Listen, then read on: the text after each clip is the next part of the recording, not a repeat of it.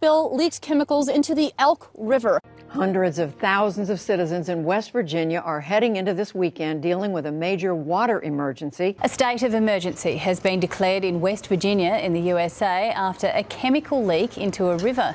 A chemical spill contaminated the water supply to more than 100,000 customers. That includes homes, businesses, even hospitals.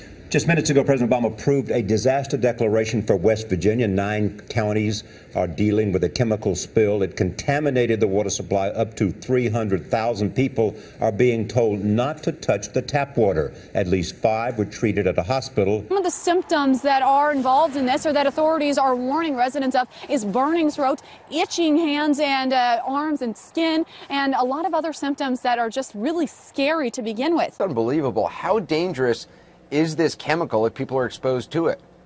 So, Anderson, we know that if you're exposed to this chemical undiluted, it's um, harmful if swallowed. It's an irritant to your eyes and to your skin. Now it's utter chaos. Eyes burning. It's a zoo in here, isn't it? It's a zoo. If I can't take a shower, it's going to be ugly. You can't wash the dishes. You can't take a shower. So that's more frustrating than it is nervous or upset.